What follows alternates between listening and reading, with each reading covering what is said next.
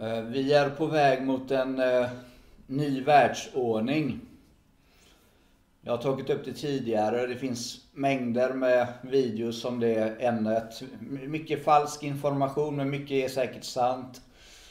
En eh, vanlig medborgare om man säger så kan ju aldrig till 100% veta förutom det Bibeln talar om som ska ske framöver. Profetior. Om man inte hör direkt från Jesus då.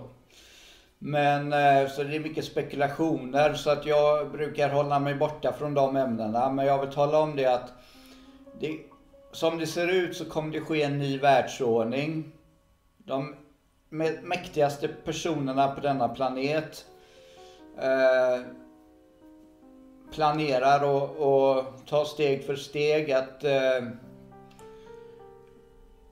ja, gör så att minska populationen, minska oss eh, antal människor. Eh, till 500 miljoner tror jag det är. Står på Georgia Guidestones, om det nu stämmer. Eh, I hela världen. Och så ska de har sina tio budord bara för att mocka Gud. Och, eh, och då är det så att de eh, ska då införa en religion som alla ska gå efter och gör man inte det, om man, då, då kommer man eh, dö, bli torterad och så vidare. Det är, det är, redan på väg. Man ser påven till exempel håller på och kysser Koranen och håller på och säger att artister kommer till himlen och, och så vidare. Så att man ser hur hur den här världen blir mer korrupt hela tiden. Men du behöver inte vara orolig så länge du har Jesus. Följ bara Jesus och skit i allt annat. Och eh, tänk på det att om du hamnar i helvetet så är det en väldigt lång tid du kommer vara där i all evighet. Tänk dig, föreställ dig en miljard år. Eller tusen år. Utan vila vare sig dag eller natt. Och du plågas enormt. Du har inget vatten, ingen mat, ingenting. Du är darrar och skräck hela tiden. Och du är, är brinner och brinner och brinner. Tänk dig hundra år var lång tid. Men tänk dig att det är inte ingenting. För att det är all evighet du kommer spendera tiden där. Så dessa, så dessa onda personer som jobbar för Satan för att göra den här världen helt korrupt som den är på, på sätt och vis redan. Eh, förutom ljusen då, de kristna som finns på denna jord. Som lyser upp i mörkret från denna jord. Så det, det, de flesta jobbar för djävulen på ett eller annat sätt. Antingen är de höjdare eller så är de eh, sådana som gör reklam för det som skådisar och så vidare. Eh, eh, Illuminati som eh, finns på riktigt. Sen kan man kalla dem vad, vad som helst men det är de upplysta som de eh, kallar sig själva. Det finns så mycket eh, information i, i, i, dold information som man kan se om man har ögonen öppna i, i allt möjligt. I, eh, på reklam, affischer, rek, reklamvideos, i musikvideos, filmer, tv-spel och så vidare och så vidare och så vidare. Eh, så de jobbar för Satan och de vill ha det...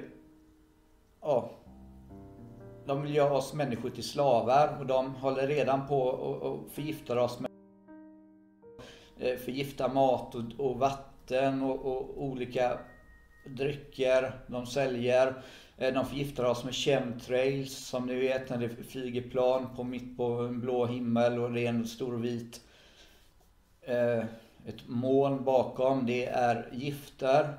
Eh, så att det är mycket, mycket som de håller på med för att för, förkorta våran livstid. Och Bill Gates själv som har varit med på Bilderberg till exempel säg, sa det en gång att eh, om vi gör ett riktigt bra jobb med och healthcare eh, så, eh, så kan vi eh, få ner eh, Eh, liksom the population i världen. Oss människor. Förkorta våra liv och så vidare.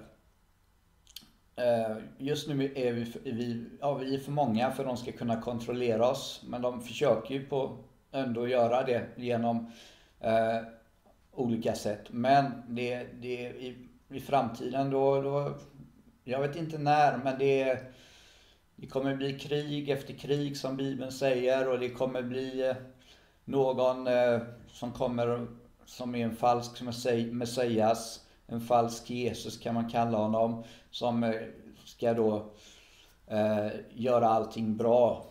Och eh, då kommer de flesta gå på det, förutom de som är, liksom följer Jesus på riktigt. De kommer inte gå på det. För förmodligen kommer de höra från Jesus att det är lugnt. Eh, men eh, nu, egentligen skulle inte denna videon handla, handla om eh, världsordningen, nya världsordningen som kommer och Illuminati, satanister och sådana personer. Eh, utan det är det att om du hamnar i helvetet Bry dig inte om liksom det ondskan som finns i denna värld. Alltså be för folk och hjälp folk givetvis. Men tänk på bara följa Jesus och gör det Jesus befaller. För då kommer du till himlen. Annars kommer du brinna i helvetet i all evighet. Och det kommer vara så fruktansvärt.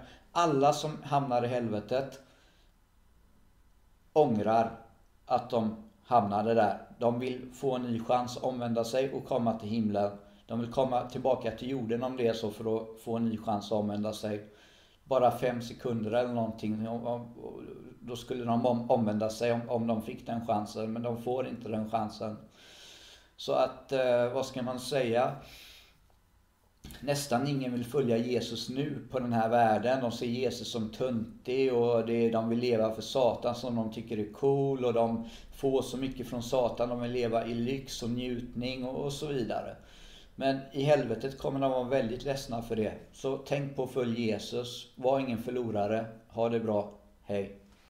Matteus 7.21 inte skall var och en som säger Herre, Herre till mig komma in i himmelriket utan den som gör min himmelske faders vilja.